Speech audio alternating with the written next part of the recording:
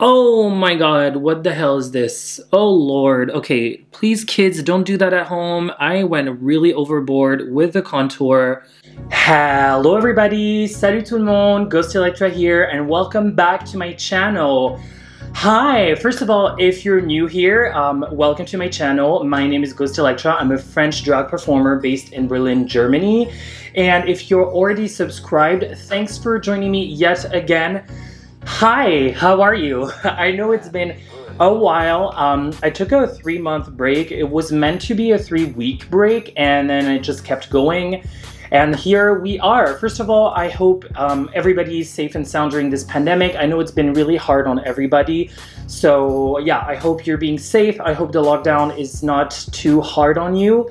Um, being in Berlin has been pretty comfortable. Um, we haven't really been uh, you know, confined to our apartments, so things have been all right here. Okay, so before we get started um, with introducing today's video, um, two things I do want to share. The first one is I know I've been away for a long time. Um, I think when the pandemic hit, I really saw it as an opportunity to take the time to sit down and be creative and finally launch my YouTube channel and produce content for Instagram. I was feeling guilty to have all of this time and not use it to produce content for Instagram and YouTube. And this pressure like really hit me hard and so I had to take a step back and here we are, three months later. Now the second thing, um, this is probably my fifth time filming this video.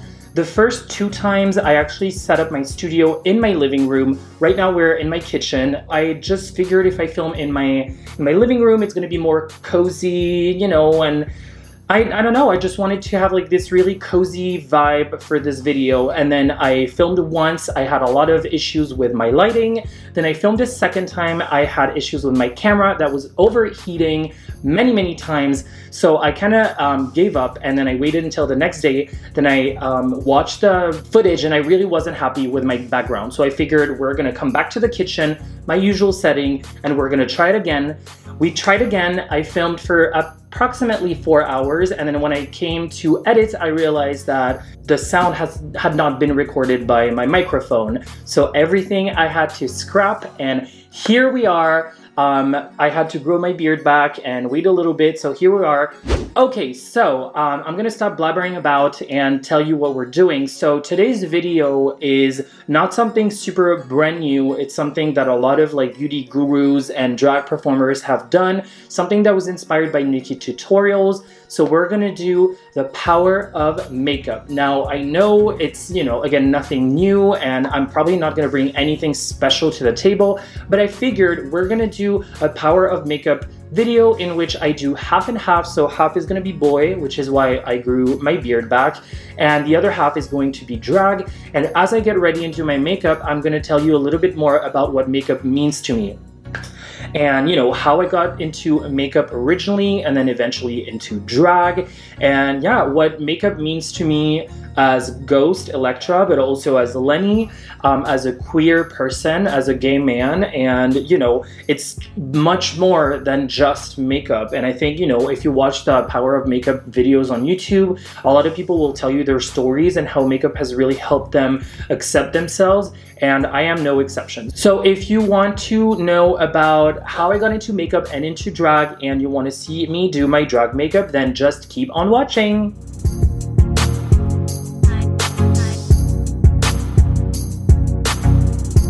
All right, and we're back and I look positively crazy. Um, as you can see, I shaved half of my face, including my brows and my beard, and the other side is as is for the boy look. So we're gonna get started with my makeup. As always, I've moisturized and primed using the Bobbi Brown Vitamin Enriched Face Base and the Milk Hydro Grip primer. So as always, I'm gonna start with my brows. I usually draft the brow using the Kryolan TV Paint Stick in 4W, then I set it with eyeshadow and I cleaned it up with concealer. All right, so I'm gonna start with my brows and I'm gonna start telling you the story of how I got into makeup. So I think it's pretty safe to say that I was never attracted to makeup. I hadn't come out to my family, so no one, well, I guess they knew deep down, but I had never officially come out. And it wasn't until I went to art school that I started living openly as a gay man um, in school. So I would um, go to school to pa- in Paris, and then I would travel um, every day from the suburbs. So I was living in the suburbs, um, and I would travel to Paris. And so basically, I would live as a straight man. So it was really weird to have this double life because like every day at school, I was just very open about it, and I came to learn to accept myself. Um, and then I would go back and just pretend, you know, I wasn't who I am. Oh, by the way, also I was a virgin, so um, and I remained a virgin until much later, and I'll, that that'll come into play. So I wasn't really um, comfortable with my sexuality, and um, I had no intention of being part of like the gay scene whatsoever. I know it sounds silly, but again, back in the day, we didn't really have. I mean, we did have internet, but it wasn't like now. So you know, my only knowledge of the gay scene was from shows like Queer as Folk, and it seemed like a lot to me. I was like, I'm not so sure. You know, I, this is my scene. So I never really um, was interested in like parties and the gay scene and being, you know, what back then I thought was being gay, which I thought was being promiscuous, you know? Um, so I was just waiting for Prince Charming, and yeah, that was that. Um, and so it wasn't until um, the following year when I decided to move to Sydney, Australia, that um, I finally lived openly as a gay male. I still hadn't told my parents. So for the first time, I, you know, again was living openly and, you know, Sydney is a really queer friendly, gay friendly city. I think it was like back then one of the number one gay capitals of the world. Um, but again, I was just really uncomfortable in my own body, not only my sexuality, but also just my, my body in general. I thought I was really unattractive, and mind you, I looked nothing like this. I had like long hair, and I would wear very colorful shirts, um, and I thought I was just really unattractive. And again, I was looking for Prince Charming, so I found no. So I found no um, point in going to the clubs and again meeting guys. So most of my friends were um, straight women. All of my roommates were straight women. So i would basically hang out with them and a bunch of straight people. I remember one time we did go to a gay bar and this older gentleman bought me a drink and it just made me so uncomfortable. First of all because he was like 55 and i was like not even 21 or i was like 19 um, but just because again i was just really uncomfortable with like flirting and you know being queer. All right so now i'm cleaning up my brow with a concealer. I'm using the Catrice Concealer Liquid Camouflage, but you can just use pretty much anything. So now to clean up the bottom part of my brow, I'm gonna use the P. Louise base in uh, Rumor Zero, which is the white one. So then in 2011, I moved back from Sydney to Paris and I went back to school to study um, linguistics. And that is when I finally lost my virginity. And, you know, I came to terms with who I am. I started frequenting um, slowly, I guess, the queer scene. And, you know, again, feeling a little bit more comfortable in my own body. My look changed much. I guess I dressed up in what now could be called hipster, but back then hipster wasn't even a word. Like my style, I guess, would have been called preppy. That's what I used to call it. So I would wear a lot of button-up shirts and and bow ties, and I had like a like some kind of like undercut, and I was wearing fake glasses, cute eye roll. Oh, brother. But anyway, again, uh, feeling much more comfortable in my style, in my body, in my sexuality. By the way, for my eyes today, I'm going to be using the Pat McGrath Mothership palette. Now, I have no idea which one this is out of all of them. I've had this for a very long time and I'm not even gonna show it on camera because it looks gross as hell. Um, but it's, uh, I'm gonna try and find out and I'll let you know down below, but it is a Pat McGrath palette. So in 2011, I met someone, a guy I was really into. So he actually was the one who took me to a party um, and it was like a queer party. So like so far I think I had been to like gay parties with like, you know, a bunch of like gym queens and mask for mask guys. So I I didn't even know there was such a thing as the queer scene. And I remember being like really flabbergasted because it was like so many people in looks like everybody looked amazing people were wearing like makeup and glitter and they were dressed up and I was just like, wow, oh my god, what is this? It was just so much fun. Like people being very queer, being different, being themselves. Um, and it was just like really what's the word empowering you know when you look at the gay scene and when i say gay i mean like you know cisgender homosexual gym queens no offense you know to each their own but it's very much about like the way you look and and it's very normative, like heteronormative, like muscles and tank tops. And so when I went to that party, I was like, wow, like those people are just like really femme. They're really quirky. They're really creative. They're really fun. And so we actually started going to a bunch of those parties. And that's when um, I started frequenting this queer scene more and more. And um, alternatively, uh, I can't even speak. Alternatively, my own look changed drastically.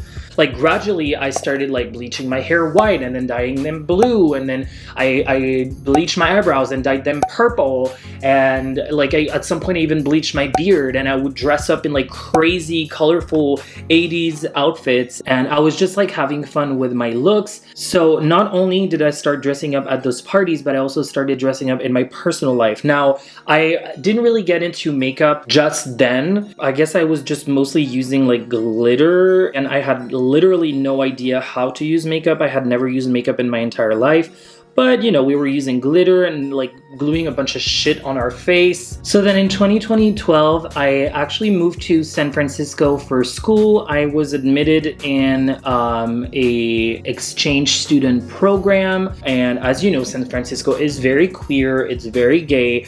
Um, I guess back in the day, it was even much more than it is now. When I arrived, I remember logging into Grindr. Now, I wasn't looking for a hookup, but I was just hoping that could be a good way for me meeting new people. And mind you, again, Instagram wasn't even a thing. I guess it was a thing, but it wasn't, to me, it wasn't really a way to connect with people. So I logged into Grindr and I met this guy who was really cute and he offered to take me out for my first night out in town. So he took me out and this was actually my very first encounter with the art of drag. He took me to what back then was San Francisco's oldest still open gay bar, which was called Gangway, and it has since closed because um, gentrification. And I remember, like, I mean, of course, I had heard of drag queens, but I, ha- I don't think I've, I had ever seen one in real life or ever met one. I remember she was hosting a bingo, so we played bingo and that was fun. But then she performed, and I was like, why is she like lip syncing to this song? Why is she not singing it live? I just thought it was really weird. I didn't understand. I just thought it was kind of weird that she was lip syncing and not singing. But other than that, like she looked gorgeous and I was like really loving it. But again, it wasn't like a aha moment where I was like, oh my god, this is what I want to do for a living. No, not at all. I wanted to be a translator. I really couldn't care less about drag. But I did think it was a fun art and you know, again, also it was like the the next step into queerness because I was like, wow, this man is dressing up as a woman.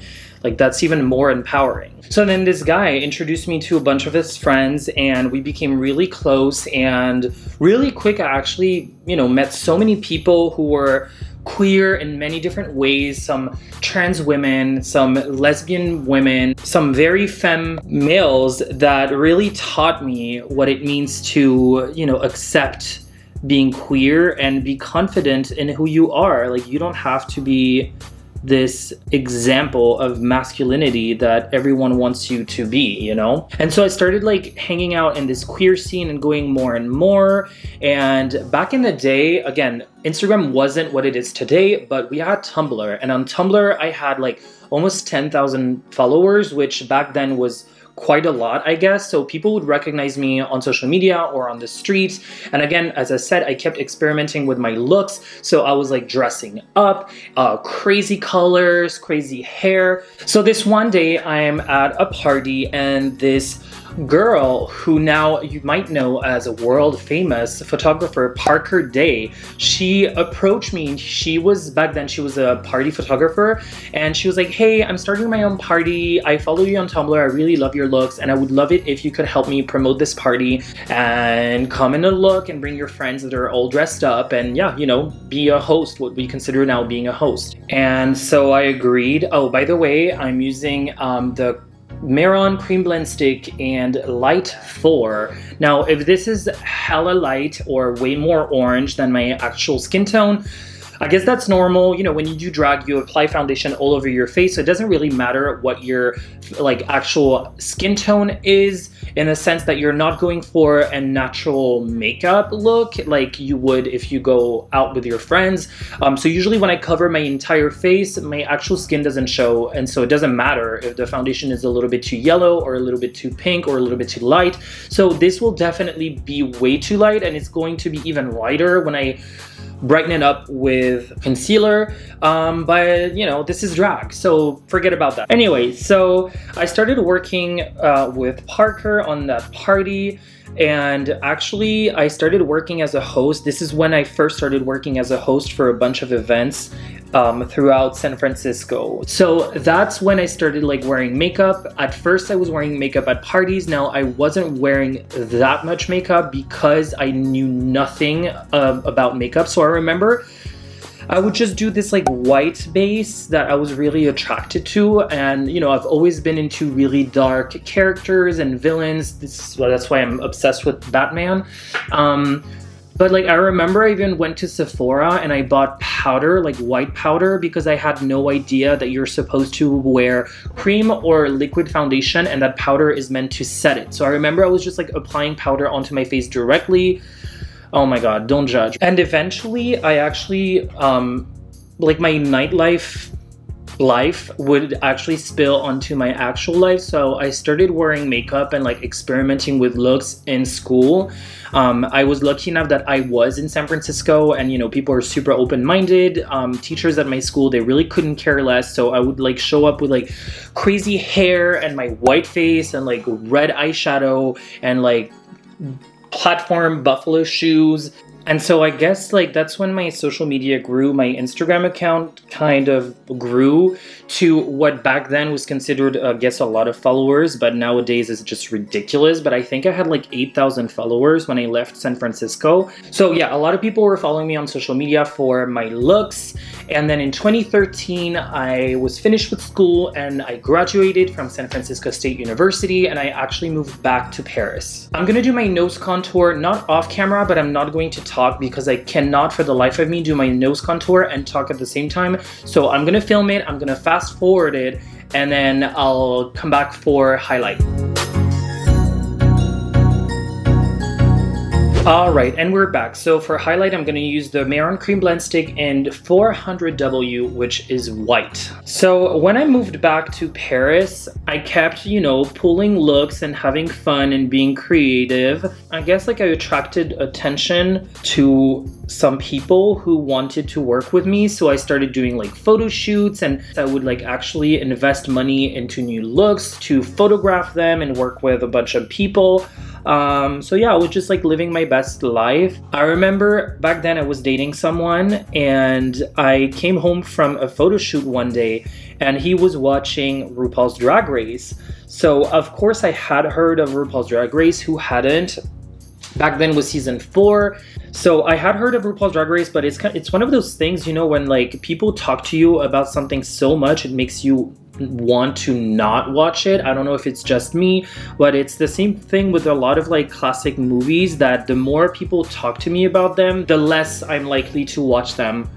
I don't know why. It's like sometimes I feel like things are so overhyped that I'm usually disappointed um, so it was kind of that with RuPaul's Drag Race. Like a lot of people in San Francisco, I remember um, they were playing it in the cafeteria one time, and everybody, like every gay was like, "Oh my god, I love that show!" And I don't know, I never really got into it. I never really saw an interest until I came home from that photo shoot, and so he was watching season four, and I remember walking in and being like, "Ugh, this again, really?" But he was watching, so I sat down with him and I decided to watch that episode. So we watched the entire episode and when we were done, he was like, Do you want to watch something else? And I was like, Actually, no, I kind of liked it. Let's play another one.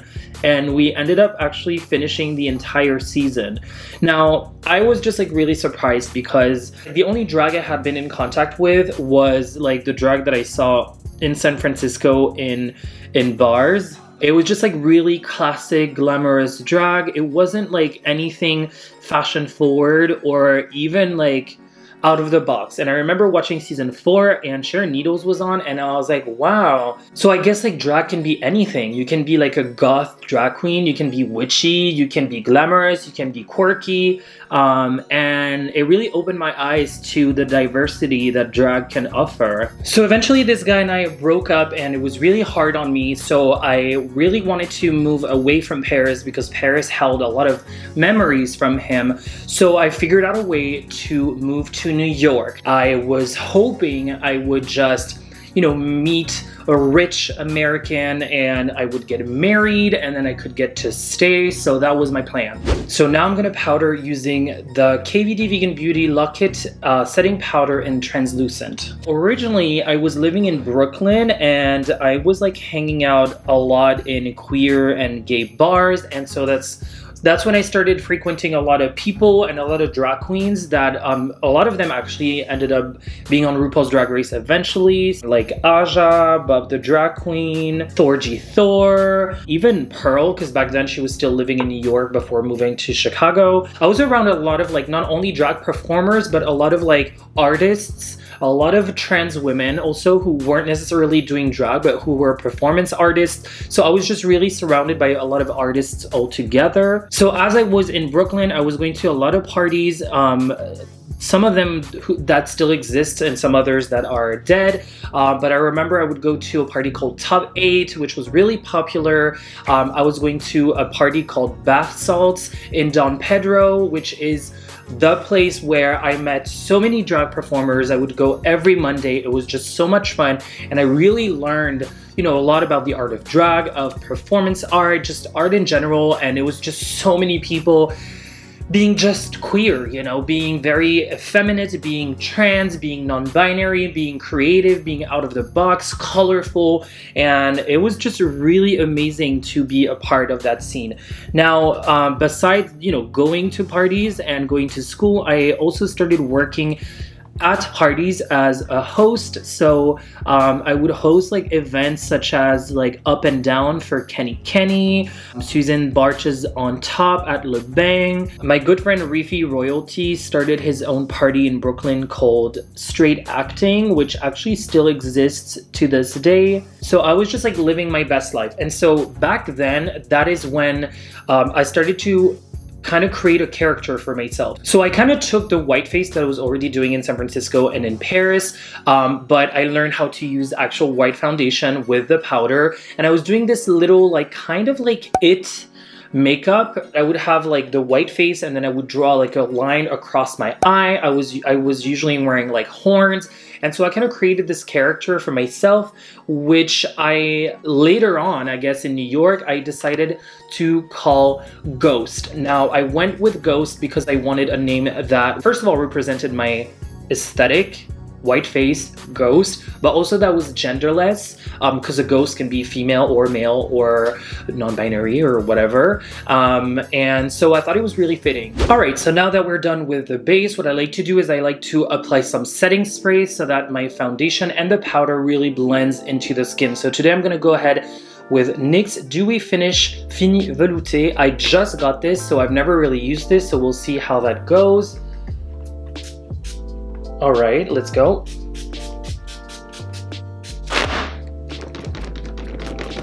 So then in 2015 is when I moved back to Paris. Unfortunately, I did not find a rich American husband, so I had no choice then to just move back to France. I continued to, you know, again, have fun with my looks and go out dressed as Ghost. Now, I wouldn't really work as a host because there isn't such a thing as hosts in France, really. Um, so I was just, I would just go out as a ghost for fun. And I remember uh, what's interesting is actually the queer scene had evolved so much in so little time. I remember I went out as a ghost and people were like, why are you dressing up? Like, this isn't Halloween. So the scene had changed a lot, but I couldn't care less. And so I uh, one of my really good friends that I had known for a long time, she had been doing drag for about six months. And one night she she didn't really want to go out in drag herself. Like she couldn't be bothered, but she was down to play with makeup. So she she offered like, hey, do you want me to do your makeup? I think it could be fun. And I was like, yeah, I mean, I guess I'm down, you know, like again, I had never really expressed any interest in doing drag drag, but I was like, if you're gonna do my makeup, honestly, I'm down, I'll take it. So she put me in drag for my first time and you know, she had only been doing drag for like six months, so she wasn't like super, she wasn't a professional and mind you, I was looking a hot mess, but bitch, I was like feeling myself. Um, if I can find a picture, I'll try and insert it right here if I can. Um, but I was like feeling myself. We didn't even have a wig because, you know, she, first of all, I don't even know like how or why she had makeup on her, but she did not have a wig. So we just like found like a, a scarf or something that we tied around my head. And my best friend, she had a spare shirt that night a Siouxsie and the Banshees shirt. So I wore that and anyway, I can't even remember like why I wore what I wore, but I just knew I was feeling myself. I thought it was sickening. I thought it was the shit. And so we actually went out that night and I really enjoyed being in drag, but I also enjoyed the way people um, treated me and the way people were interacting with me. Like everybody was super friendly, everybody was like super warm. I just remember having a really good time and you know I was like wow like this is something that I definitely could see myself doing because it's a little bit more I guess like my ghost character was just really freaky would actually weird people out and um me in drag, which did not have a name back then, uh, people were just like really comfortable with me. So I had a lot of fun and I was like, oh, this is something I definitely could see myself do in the future. So that's when I decided to um, splurge a little bit and buy myself my first um, brush kit and my first eyeshadow palette. There weren't like a lot of indie brands and affordable brands. Like everything you could find was at Sephora. It was very limited. It was really pricey. So I remember I bought like brushes off of Amazon, I think, and then a palette from AliExpress. It was like a 52 shade palette for like $20. Of course, they weren't pigmented, they were basically transparent. But anyway, the funny thing is I have been to art school, but I I don't know, I don't even know why. I've never been really a creative person. I've never really been an artsy person. I was terrible at drawing and painting, and I had never picked up a makeup brush in my entire life. So it was a really interesting and slow process um, getting started. But back then there wasn't as much competition as there is now. Uh, very few people were doing drag in Paris. RuPaul's Drag Race was popular, but it wasn't what it is today. Now it's like really this juggernaut of like reality television. I guess like getting started with drag back then wasn't as hard as it might be now. Okay, so now I'm gonna apply glitter and uh, for primer, I'm gonna use the NYX Glitter Primer. For glitter, as always, I'm gonna use Paris Berlin La Paillette Cristal. So it's a crystal glitter. I, If you've watched my videos here, if it's my basic go-to drag makeup, I always use this. Um, so you've probably seen it a lot and I'm gonna apply this all over my lid. Alright, so we're gonna move on to contour and blush and then we're gonna try and make it fast because I feel like this video has already been going on for so long. So for contour, I'm gonna use, as always, the Anastasia Beverly Hills Contour Kit, light to medium. As you can see, this has been used quite a lot. I've had this literally since I've been doing drag. So this is one of the first things that I bought so back in the day i was i was just doing drag for fun and you know people were really responding to my drag it was very much inspired by you know my my own aesthetic as a boy very dark very cyberpunk very edgy inspired by you know bdsm and fetish i was really into like vinyl and black and um, and so, yeah, people were really responding to it on social media. And so eventually I decided to um, not only come up with an actual drag name, but also like create my my own little drag Instagram account. So I, I actually used the same account, but I switched to a different name and I actually added Elektra to Ghost because I wanted it to be a little more feminine. As you know, if you've seen my video, because it's inspired by um, the comics, and I switched my name from Lenny Cartwright to Ghost Elektra and that's how she was born. And so I started posting a lot of content and I kind of blew up for a time. Like I remember a BuzzFeed article came out with like 28 European drag queens to follow and I was one of them among friends and people that I admire such as like Hungry, um, and Chloe Waldorf from from Berlin here. Again, I didn't think I was gonna make a career out of it, but I was like, this is something I really enjoy, and people seem to enjoy it. So who knows where this can go? After like a year and a half of doing drag, um, I started performing at venues, but I was kind of having a hard time finding my my spot in the queer scene. And one day, my boyfriend and I were um, on a Saturday. We like we really wanted to go have fun with some of our friends at a goth party but then there was like a drag event going on and i really wanted to make it as well. And i remember thinking like wouldn't it be amazing if there was like if we didn't have to pick between those two on a Saturday and if there was like a dark goth event that had like drag shows and that's when we decided to produce our own party and we came up with Tech Noir. Now Tech Noir, it's my very first event. It's been going on, well, not because of the pandemic, it hasn't been going on for a while, but it's four years old. I had never produced a party in my entire life. I had no idea what goes into producing an event, but I was like, I'm gonna learn on the spot. All right, so we're gonna move on to blush. Now for blush, as always, I'm gonna use the KVD Vegan Beauty Everlasting Blush in Peony. For lips, we're gonna do my go-to combo combo. Um, now, I used to use um, a brand that we no longer support on this channel, but I did find a shade that resembles it, and so we're gonna use um, Sugarpill Liquid Lipstick in Antisocialite. All right, she's coming to life. Okay, so we're gonna move on to mascara. Now for mascara, I'm gonna use the Marc Jacobs Velvet Noir Major Volume Mascara.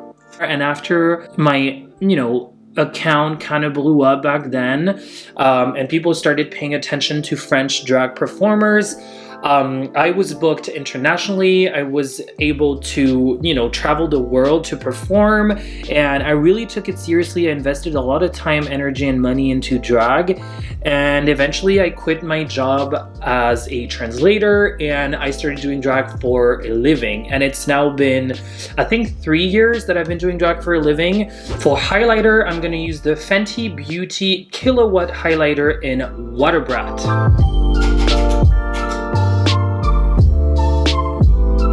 All right, so she's highlighted for the god. She's coming together. So yeah, like I said, I have been doing drag professionally for four years and I've been loving it. It's been a struggle at times, especially with the new RuPaul's Drag Race craze um, it's really hard to keep up because now there's so many like creative people. There's like new kids on the block and they're amazing makeup artists. So it's really hard to keep up. But I, I have found my calling not only with drag, but also with event production because then eventually I created my own event production company. I've been producing uh, festivals and parties and concerts and um, the first ever uh, drag market of France. So I've been working on a lot of events and I've really enjoyed um, you know, producing events, queer events, alternative events, and doing drag and performing across the world. As always, for false lashes, I'm gonna use the Sugarpill Plush False Eyelashes.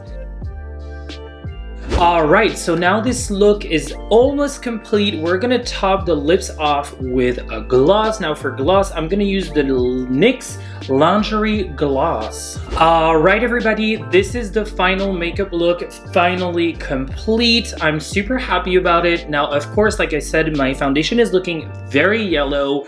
Um, you know, maybe I should have gone for a different shade. This is definitely too yellow for my skin tone, but who cares? It's drag, you guys. No one cares. I'm gonna go ahead and put on my wig and my outfit for the final reveal, and then I will give you my very last thoughts about makeup and drag. So I'll see you in three, two, one. And voila! What do you guys think? This is the complete look. I'm super happy with it.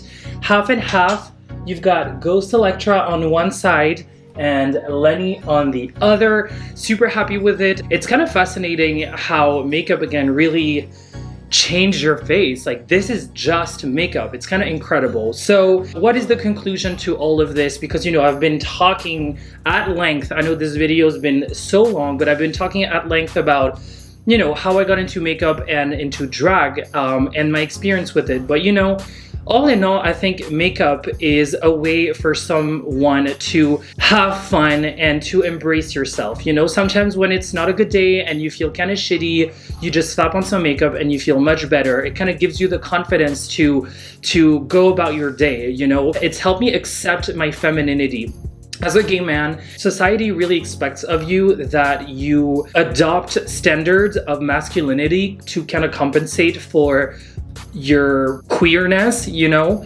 And I, I, really felt pressured for years to just be as masculine as possible.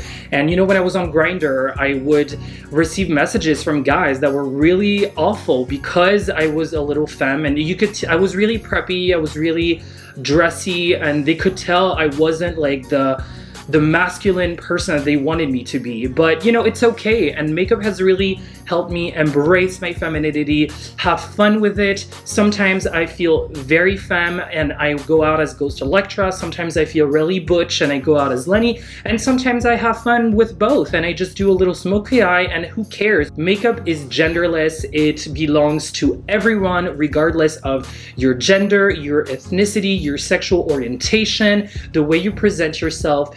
And, you know, when you look at the history of makeup, makeup has been used throughout times by tribes as war paints or in theater during the Renaissance. And it's never necessarily been assigned to a gender.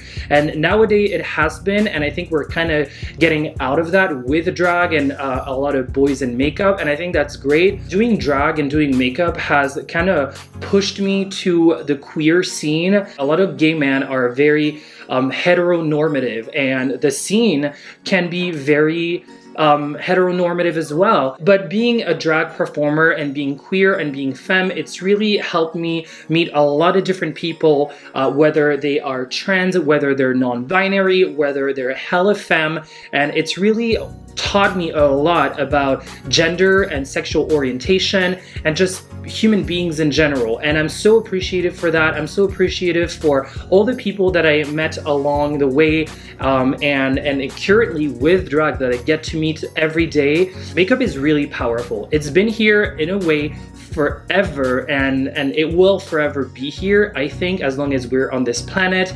And I just think it's time that everyone embraces makeup and has fun with it because that's what it's made for. So here we are years later after the little boy that I was had never even picked up a brush or played with makeup. Throughout those decades I have you know come to embrace the power of makeup and here I am and I do that for a living and I love it and and here you are watching me and I appreciate that so much. So yeah there you go. Super happy I hope you like it. I hope you like this video. If you did enjoy this video, please make sure to give me a thumbs up. And if you want to see more videos like this, make sure to subscribe. I'm going to try to post every week if I can. I have a few videos coming up. My boyfriend did my makeup and I'm telling you right now, it did not look like this. If you don't already and you want to follow me on Instagram where I post a lot more makeup looks, you can do so right here at Ghost Elektra. And yeah, that's it. Thank you so much for watching. I hope you did enjoy it. And I guess I'll see you guys in the next one. Bye!